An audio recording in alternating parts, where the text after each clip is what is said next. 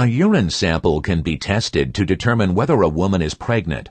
The number of colored bands on a test strip determines whether the result is positive or negative.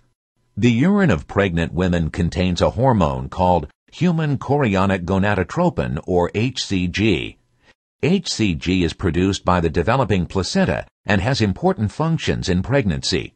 However, some of this hormone is also excreted in the woman's urine. Women who are not pregnant do not produce HCG. A pregnancy test is based on the ability of proteins called antibodies placed on commercially prepared test strips to bind to HCG in the urine. The test strips contain three zones of function, here labeled R, T, and C, to indicate a reaction zone, test zone, and control zone. The reaction zone contains a type of antibody that recognizes and binds to HCG molecules and is therefore called an anti-HCG antibody. The letter E signifies that these antibodies have been linked to enzymes that can participate in color reactions on the test strip. Like the reaction zone, the test zone contains anti-HCG antibodies. In addition, this zone contains dye molecules that will participate in the color reactions. The control zone also contains dye molecules for the color reactions. The antibodies in the control zone are called anti-mouse antibodies. These anti-mouse antibodies will recognize and bind to the antibodies currently in the reaction zone because the reaction zone antibodies were made in a mouse. The urine of a pregnant woman yields a positive test result. To determine this result, the test strip is dipped in the urine sample. The sample, which contains HCG, is drawn up the strip by capillary action and arrives at the reaction zone. The enzyme-linked antibodies recognize parts of the HCG molecules and bind to these molecules from the urine.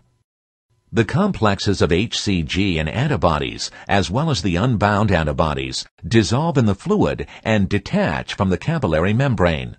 They're carried along the test strip by the capillary flow. At the test zone, other anti-HCG antibodies bind to the HCG portions of the moving complexes.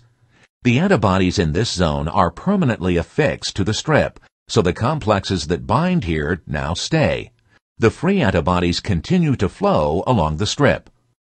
The antibodies that escaped binding in the test zone have reached the control zone. Here, anti-mouse antibodies that are affixed to the strip bind to these mouse antibodies.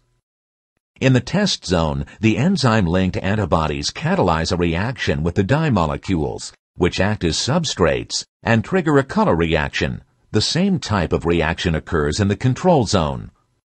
In a positive test, two of the three bands are colored, but in a negative test, only one is colored. This difference results from a lack of HCG in the woman's urine.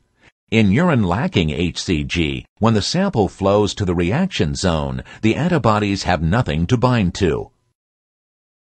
The antibodies detach from the reaction zone and migrate alone up the test strip.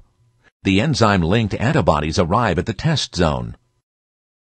Because the migrating antibodies are not carrying HCG molecules, the immobilized anti-HCG antibodies in the test zone are not able to snare them. The antibodies continue to travel along the strip. The control zone contains anti-mouse antibodies that bind to regions of the traveling antibodies and thereby immobilize them. The control zone is an important region that helps distinguish whether the strips are working correctly. If the strip is working correctly, and if the woman is not pregnant, the control zone will produce a color reaction, but the test zone will not.